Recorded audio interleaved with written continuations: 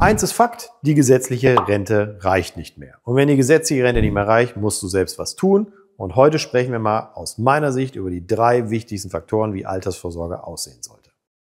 Springen wir ins Problem. Gesetzliche Rente reicht nicht mehr, hörst du im Moment in den Medien, was heißt denn das eigentlich? Ich mache das mal heute in diesem Video ganz simpel.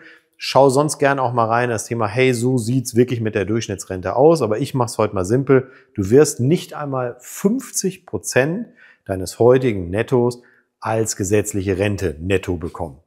So, und das heißt, dir fehlt mal die Hälfte. Und die Hälfte, da gibt es tausend Gründe für, die brauchen wir heute gar nicht anzugehen.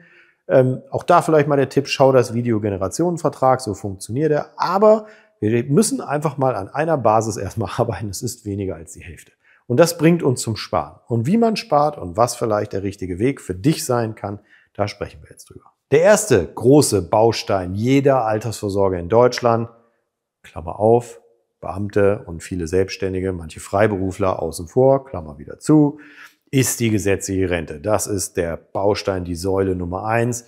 Nahezu jeder Deutsche ist irgendwie in diesem Konstrukt verhaftet. Das heißt, irgendwann kommt eine Rente raus. Wie gerade schon gesagt, selbst wenn du die Parameter der Einzahlung gut erfüllst, dann sind das eben maximal die 50 Prozent. Und jetzt müssen wir darüber reden, was die anderen beiden Bausteine der Vorsorge für dich tun können, damit du diese Lücke schließt. Ja, und 50 Prozent bis 100 ist eine Menge. Bei den meisten Menschen wird es auch kaum an Sparmöglichkeiten ausreichend sein und zu sagen, ich gehe auf von 100, also von den 50 wieder auf die 100. Aber wer früh anfängt, schafft zumindest mal eine 70, 75 oder 80 Prozent. Und wie du richtig anfängst, das gucken wir uns an. Ich gehe direkt auf den zweiten zentralen Baustein. Die zweite große Säule der Altersversorgung, das ist die Betriebsrente. Und bevor du jetzt sagst, oh, Betriebsrente mit Arbeitgeber, alles so schwierig, rechnet sich nicht, habe ich 100 Mal gehört.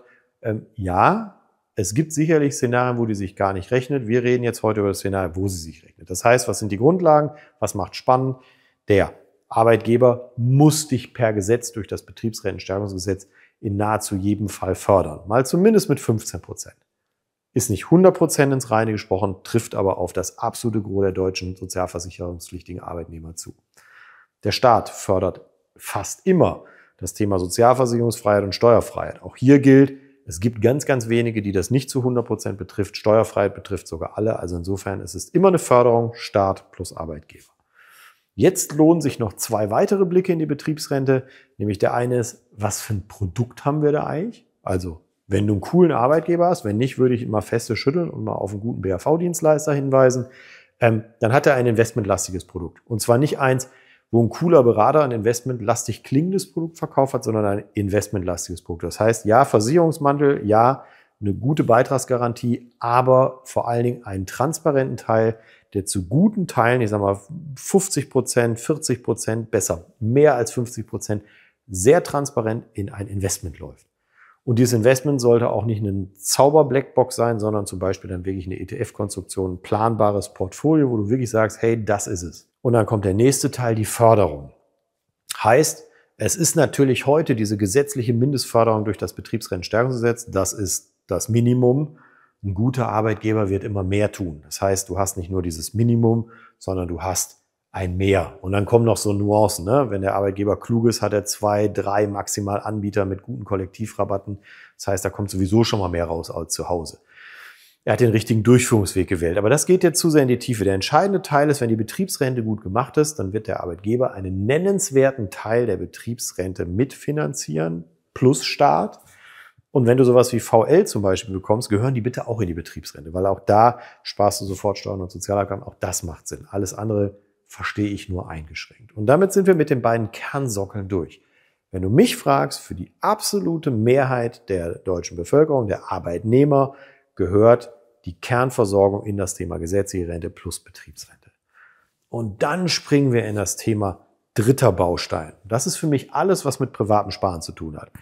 Fremdvermietete Immobilien, Investment sparen, Investment Policen, also Investment im Lebensversicherungsmantel. Auch da gibt es mittlerweile hochspannende Produkte, vor allem für alle, die auch so ein bisschen Sicherheit haben wollen oder viel traden wollen. Ähm, vielleicht Edelmetalle, vielleicht andere Luxusgüter. Was die Dinge für mich an sich haben, ist eine große Chance und eine große Gefahr. So, die große Chance oder die beiden großen Chancen sind Rendite mit einer hohen Transparenz und eine hohe Flexibilität.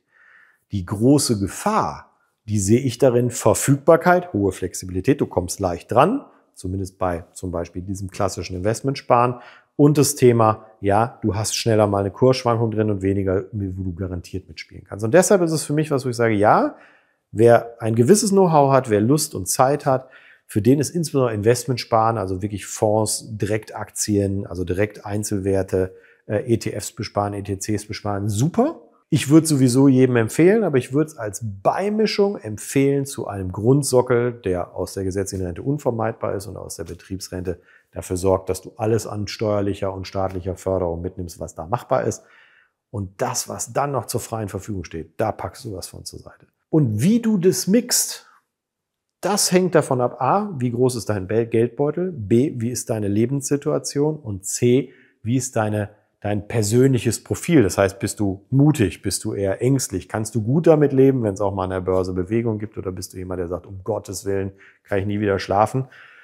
Und genau von dieser Entscheidung, gerade von dem letzten Punkt, hängt ganz zentral ab, wie nah oder wie viel von der Lücke dieser 50 Prozent, die dir da mal mindestens fehlen werden, kannst du schließen. Weil jemand, der sehr ängstlich, sehr konservativ und sehr vorsichtig ist, der wird mit eigenen Mitteln wahrscheinlich sich eher mal auf die 60 oder 70 Prozent zu bewegen. Jemand, der optimistischer und stärker an der Stelle ist. Natürlich auch jemand, der vielleicht einen größeren Geldbeutel hat, der kann auf die 80, 90 oder 100 Prozent gehen. Und das ist eigentlich schon die ganze Zauberei. Das heißt, mein Fazit, das, was ich dir mitgeben will. Guck dir diese Wege alle an. Fang so früh wie möglich an. Und wenn du schon ein bisschen älter bist, dann fang einfach jetzt an. Geh den Weg in der Kette Betriebsrente, zusätzliches Investment, Kapital aufbauen und auch Spiel schaffen, dass du flexibel Vermögen an der Seite hast und dann kann eigentlich nichts schiefgehen.